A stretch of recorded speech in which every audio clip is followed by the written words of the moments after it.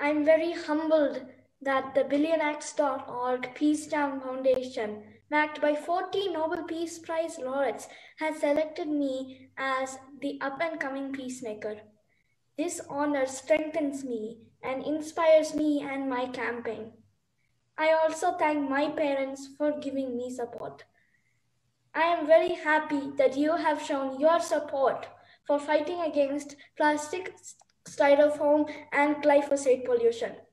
This award is not just for me. It is for the wildlife. It is for children of my generation and future generations and their fundamental rights for clean air, water, soil, food, and great health, and also for planet Earth. I stand up for their rights. Let's call for action for all the presidents, prime ministers, and royals to ban single-use plastic bags and flatware, styrofoam, and glyphosate. Thank you.